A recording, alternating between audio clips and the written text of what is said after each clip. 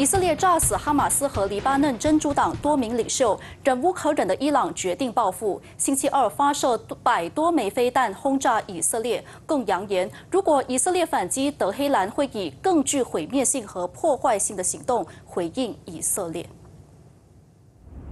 哟哟哟你飞了，罗马命，罗马命，罗马命。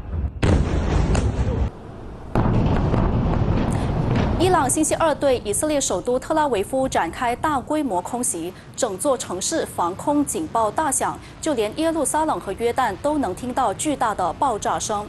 以方宣称，伊朗向他们发射了超过一百八十枚导弹，不过全都被以军的防空系统拦截了。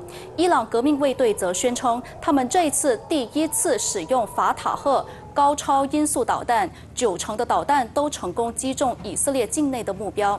以色列总理内塔尼亚胡炮轰伊朗这一番举动，简直是大错特错，强调一定会让伊朗付出惨痛代价。不过，伊朗根本没在怕，表明已经准备好应对乙方的报复。